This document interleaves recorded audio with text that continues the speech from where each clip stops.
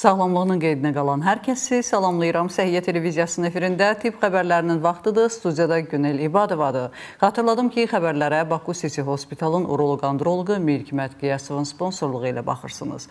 Böyrəklərinizdəki daşlardan tamamilə ağrısız, icbari tibbi sığorta xətti ilə ödənişsiz qurtulmaq istəyirsinizsə 050 662 6992 nömrəsinə zəng edib həkimin qəbuluna yazıla bilərsiniz.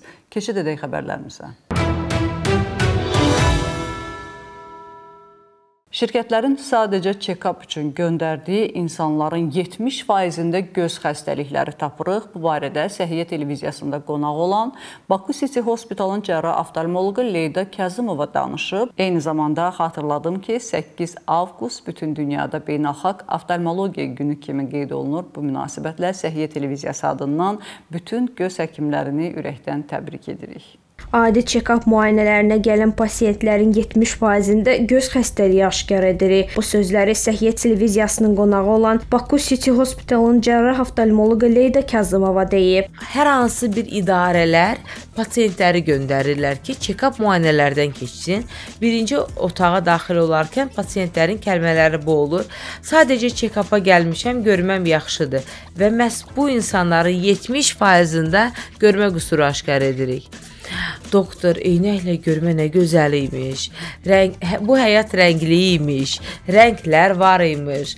Sən demə otaq işıqlı imiş və s. bu cür bir kəlmələrdən artıq onların təəccüblərini 18-də yox, 25-də, 30-da, 40-da, 45-də eşidirik. Bu doğru deyil. İnsan 40-a qədər ə, nizamlayıb yaxşı görə biləcəkdisə, amma bunu etməyibsə, Bu yalnız pasiyentin yox, biz göz həkimlərin də bir günahıdır deyə düşünürəm. Xatırladaq ki, avqustun 8-i Beynəlxalq Oftalmologiya günüdür. Ümumdünya Səhiyyə Təşkilatının məlumatına görə dünyada görmə funksiyasının pozulmasından əziyyət çəkən 2,2 milyard xəstə var. Xüsusi olaraq qeyd olunub ki, görmə funksiyasını itirənlərin 82%-i 50-dən yuxarı yaş qrupuna daxildir. Görmə funksiyasının pozulmasından əziyyət çəkənlərin 19 milyonunu uşaqlar təşkil edir. Gözümüzün nurundan cavabdeh olan əziz oftalmoloqlar, peşə bayramınız mübarək. Səhiyyə Nazirliyindən məlumat yayılıb, ölkədə əməlli başlı tip skandalı baş verir. Məsələ burasındadır ki, bəzi qurumlar özlərini sanitariyaya nəzarət qurumları kimi təqdim eləyib iş adamlarına müəyyən ə, pul məbləğində rüsumlar və yaxud da ə, hansısa bir xidmətlər təklif edirlər. Səhiyyə Nazirliyi isə öz növbəsində məlumat yayıb ki, hörmətli iş adamları aldanmayın. Məsələnin detallarını sujetdə izləyəcəyik. Son zamanlar Bakı şəhərinin bir sıra rayonlarında özlərini Səhiyyə Nazirliyinin Azərbaycan Respublikası Gigiyena və Sanitariya Xidməti İdarəsinin əməkdaşları kimi təqdim edən bəzi şəxslər tərəfindən sahibkarlıq subyektlərinə yoxlamaların və əsassız dezinfeksiya işlərinin aparılması, sanitar gigiyena qaydalarının pozulmasına görə cərimə edilməsi təhdidləri kimi neqativ hallara rast gəlinir. Qeyd edək ki, Səhiyyə Nazirliyinin tabeliyində Azərbaycan Respublikası Gigiyena və Sanitariya Xidməti İdarəsi adlı qurum mövcud deyil və o qurum qurumun təqdim etdiyi blanklarda nazirliyin adından əsassız şəkildə istifadə edilir. Səhiyyə Nazirliyinin təsdiq olunan əsasnaməsinə uyğun olaraq Respublika üzrə yoluxucu xəstəliklərin profilaktikası sahəsində dezinfeksiya tədbirləri Nazirliyin Respublika Gigiyena və Epidemiologiya Mərkəzi, onun Bakı şəhər dezinfeksiya rayon gigiyena və epidemiologiya mərkəzləri, həmçinin rayon şəhər dezinfeksiya idarələri tərəfindən həyata keçirilir. Uşaqlar gecələr yatmışsa, bu nevroloji problemlərin göstəricisi ola bilər. Bu barədə uşaq nevroloqu Təranə Feyruz qızı danışıb. Baxaq görək doktor nələrə diqqət eləməyi vurğulayıb.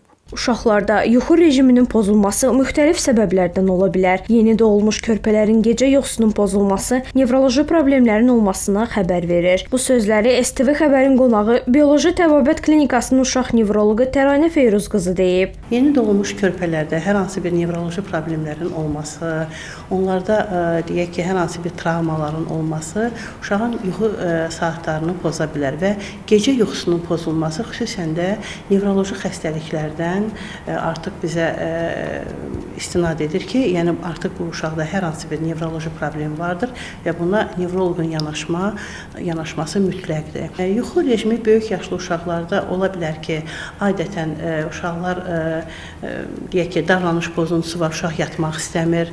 Burada da ailənin təsiri mütləqdir və yaxud da uşaqda hər hansı bir deyək ki, somatik xəstəliklər fonunda, deyək ki, uşaq xəstələnib, məsələn, bağırsaq problemləri var, qurd invaziyaları var. Bu kimi problemlərdən də uşaqların yuxusu pozula bilər. Nevroloq həmçinin gündüz yuxu rejimi haqqında da ətraflı məlumat verib. Bəzən uşaqlar gündüzlər yatmaq istəmir. Bu onların kaprizlərindən irəli gəlir. Yəni uşaqlar günorta saatlarında yatmaq istəmirlər. Adətən bağçaya gedən uşaqlarda bu rejim halında olur. Hətta evdə qalanda belə uşaqlar o saatda yuxulayırlar. Ona görə valideynlər bilməlidirlər ki, uşaqlarının yuxu rejimini tənzimləsinlər. Günorta saatlarında uşaq mütləq 1 2 saat yatmalıdır. Axşam saatları isə mütləqdir ki, saat ondan o tərəfə keçməməlidir. Çünki uşaqlar e, daha çox oyaq qaldıqca onların sinir sistemi pozulur. Lazımsız informasiyalar, deyək ki, telefon şəbəkəsində və ya da televizorda olan müxtəlif e, filmlərin e, baxışı onların hətta gecə yuxusunun belə narahat olmasına gətirib çıxarır. Uşaqlar gecə oyaq qaldıqca sinir sistemləri pozulmağa başlayır. Ona görə də onların vaxtında yatması çox vacibdir deyə mütəxəssis valideynlərə məsləhət görüb. Su həyat mənbəyidir və icbari tibbi sığorta bu gün açıqlama yayıb ki, insanlar sudan qənaətlə istifadə etməlidirlər ki, növbəti nəsillərə də yetsin. Eyni zamanda su kimi dəyərli bir neməti boşuna xərcləməməyə fikir verməliyik. Bununla bağlı əlbəttə ki, Səhiyyə televiziyası olaraq bizdə daim maarifləndirici videolar, çarxlar hazırlamışıq ki, suyun istifadə edilməsinə qənaət mütləqdir. Hər bir insan özü şəxsən dərk eləməlidir ki, su necə dəyərli bir nemətdir və ona qənaət etməliyik. Amma eyni zamanda su bəzən insanların həyatına da son verir. Məsələn, Britaniya sakini sadəcə 4 şüşə su içdiyi üçün həyatını itirib və yaxud da başqa bir Türkiyənin sakini isə təsəvvür edirsinizmi? Günə 25 litr su içir. Böyük-böyük bitonları yanına qoyub səhərdən axşama qədər su içir və bu asılılıqdan onu heç kim qurtara bilmir. Yəni su həyat verdiyi kimi bəzən həyat alır, bəzən həyatı çətinləşdirir. İstənilən halda sudan bol-bol içmək lazımdır gün ərzində, amma 2 litrdən çox olmayaraq istifadə zamanı isə qənaət etmək mütləq vacibdir. Eyvanlarda və bağçalarda ağzı açıq su saxlamayın. Saxlamısınızsa, artıq o sudan istifadə eləməyin. Bu barədə Türkiyənin Səhiyyə Nazirliyi açıqlama verib. O deyib ki, məhz müəyyən ağcaqanadların sayəsində həmin sular zəhərlənir və daha sonra insanlarda çox ciddi allergik mənşəli xəstəliklər yaratmağa başlayır. Diqqətli olaq. Bizdə həmçinin qonşu ölkə olduğumuz üçün ağcaqanadların yaratdığı bu infeksiyalardan, allergiyalardan uzaq olaq.